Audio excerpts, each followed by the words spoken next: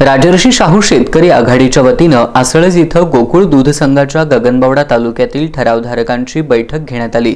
या बैठकीत नामदार सतेज पाटील यांनी दूध उत्पादकांच्या हितासाठी राजर्षी शाहू शेतकरी आघाडीच्या सर्व उमेदवारांना विजयी करण्याचं आवाहन केलं.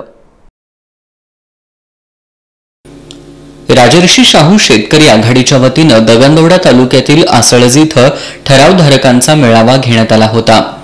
या मेळाव्यात बोलताना जिल्ह्याचे पालकमंत्री सतेज पाटील यांनी मार्गदर्शन केलं. गोकुळ निवडणुकीसाठी आपण बयाजी शेळके यांच्यासारख्या सामान्य कार्यकर्त्याला गोकुळच्या संचालक पदाची संधी दिली आहे. गगनबावडा तालुक्यातील जनता माझं कुटुंब आहे. त्यामुळे गेल्या वीस वर्षात इथली जनता आमच्या पाठीशी ठामपणे उभी आहे. गोकुळ दूध संघाला चांगले दिवस यावेत. यासाठी तालुक्यातील ठरावधारकांनी पॅनेलचे सर्व उमेदवार विजयी होतील यासाठी प्रयत्न करावेत असं आवाहन नामदार सतेज पाटील यांनी केलं.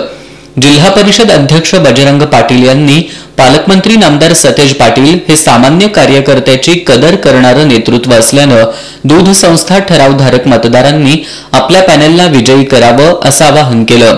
आमदार राजेश पाटील यांनी जिल्ह्यातून जास्तीत जास्त मतदान राजर्षी शाहू शेतकरी पॅनेलला होऊन विजय संपादन करू असा विश्वास व्यक्त केला. यावेळी गोकुळचे माजी चेअरमन विश्वास पाटील यांनी गगनबावडा तालुक्यातून चांगल्या प्रतीचा दूध पुरवठा होतो. त्यामुळं गोकुळला मार्केटमध्ये स्थान आहे असं सांगितलं. गोकुळचे माजी चेअरमन अरुण डोंगळे यांनी गोकुळ आणखी चांगल्या प्रकारे चालू शकला असता मात्र त्यांना ते करायचं नाही. असं सांगून खुली चर्चा करण्याचं सत्ताधाऱ्यांना आव्हान दिलं. माजी आमदार चंद्रदीप नरके यांनी जे बंटी पाटील साहेब सांगतात ते गगनबवड्यात घडतंय त्यामुळे ठरावधारकांनी कपबशी चिन्हावर शिक्के मारावेत असं आवाहन केलं. यावेळी गगनबावडा तालुक्यातील ठरावधारक उमेदवार बयाजी शेळके अजित नरके वीरेंद्र मंडलिक यांच्यासह राजर्षी शाहू शेतकरी पॅनेलचे सर्व उमेदवार उपस्थित होते.